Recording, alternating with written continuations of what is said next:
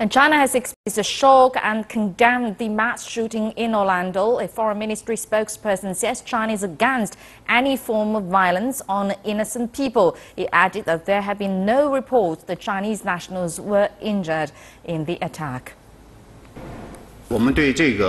We are shocked by this incident. The U.S. government and other relevant parties are dealing with the aftermath, including determining the nature of the incident.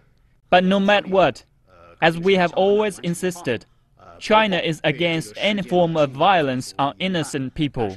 At this difficult moment, we stand together with the American people.